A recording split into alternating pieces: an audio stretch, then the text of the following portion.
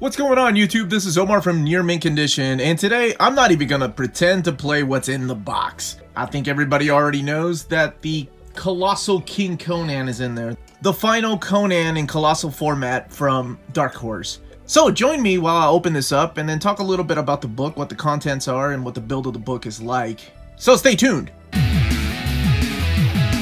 Okay, well, let's get this open. Now, I took a gamble because my place that I normally get my books, in stock trades, didn't get their shipment in. And I actually, if you are missing it, they are getting 43, 47 books in on December 3rd. And I hate to be one of those guys that's like, hey, the sky's falling or run for the hills, but if you really are interested in owning this book and don't want to pay ridiculous third-party seller prices, I would definitely go that route. All right, let's get this opened. And what I meant by I took a gamble is I ordered it from Amazon. I had it pre-ordered a couple of weeks ago once I found out that In-Stock Trades didn't get their full order. Now that's because Dark Horse, of course, lost the rights to Conan and it went back to Marvel. Now let's look at what this book looks like. It's a $99 retail price. There's the spine. We'll look at what it looks like with the other two books. This is the final Conan in Colossal format because, like I said, Dark Horse lost the rights to Marvel. So it went back to Marvel, and they're going to start releasing these. So if you're at all interested in the stories in these books, Marvel's going to start releasing some epic lines. And I believe the first one with the Kurt Busiek and Cary Nord stuff is been solicited. Yeah, I like the way the spines look together. That was That's nice. And there's the Cimmerian that I did an overview of a little bit ago. Let's look at the book itself. Uh, let's take the dust jacket off. Okay. So one thing I do want to say is that if you own the Conan omnibuses and you decided to go that route, you still need this book or you need the trade paperbacks of King Conan because these are not collected in those omnibuses. Now, the omnibuses are, of course, those soft cover thick books from Dark Horse. Now, let's look at this real quick. I'll lay it down, see what it looks like. Much like the Cimmerian, it lays really nice. I mean, it is half the thickness of the Colossal Conan by Kurt Busiek. And it's about 608 pages. No, that's not even half. That's like a third of its size, just about. That's kind of ridiculous. Eh, maybe it's half. I've just always been bad at math. That's what it looks like, the spine. And let's look at the inside here. Now, what I was saying earlier, before I showed it, there is a not forward by Robert E. Howard, because that dude's been dead for a long time. Nice cover by Darick Robertson. Let's get a little closer look at this. It's beautiful cover. One of my favorite artists. And all of this was written by Timothy Truman. And most of the art is done by Thomas Gioiero. Gioreyo. Sorry. Here's a nice blue ribbon to go along with that red and orange ribbons from the previous volumes. Let's look in here while I talk a little bit about it. What I was saying earlier, though, is if you are getting these in the Conan Omnibus format, the softcover thick books, you need this book or you need to get it in trade paperback form because this book has not been collected in those. Those books took us all the way through mainly those two books. That is all the way through volume 4 of the Conan Omnibuses. But volume 4 also contains a lot of the Conan Road of Kings uh, miniseries. Or actually, that was an ongoing series because it went all the way to 12 issues. So issues 1 through 6 are collected in volume 4. There's more Darick Robertson on covers. And then the rest of it was collected in volumes 5, The Road of Kings. And then it's kicked off, volume 5 of the Conan Omnibus is kicked off with the new volume 2 Conan the Barbarian series. And that wrapped up all the way in volume 7.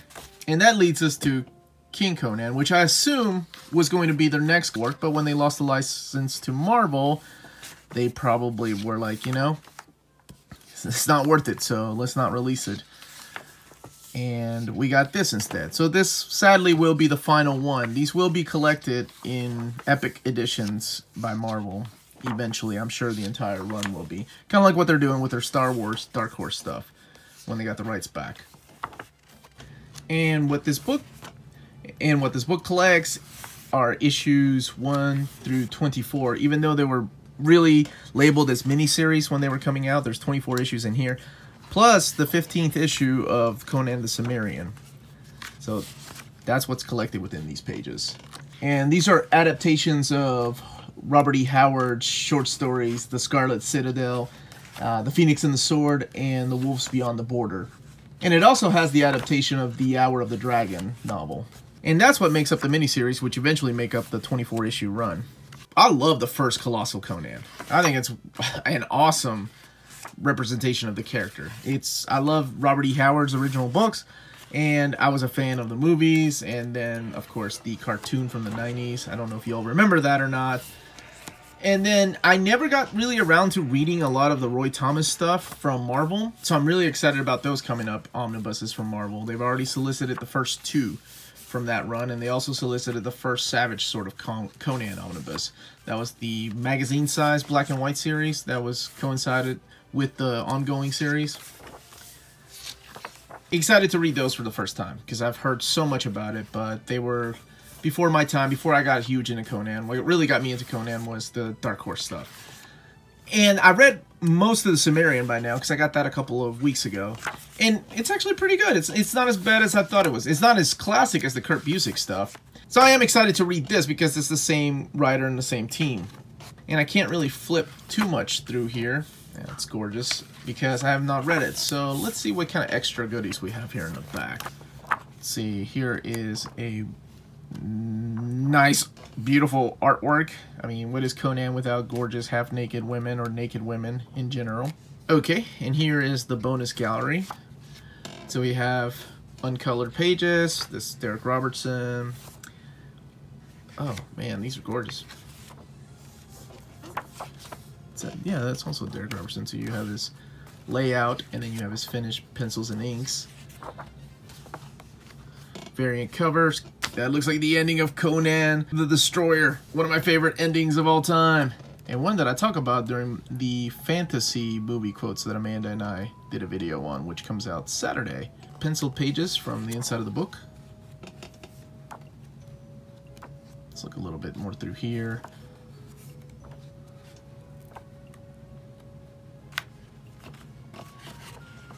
We have some pinups. Yeah, that one's awesome. that one's pretty cool too. Wow, that is gorgeous. And then the final page, which is just the pencil page by Thomas Giorello. And that's the contents of the final Colossal Conan book by Dark Horse.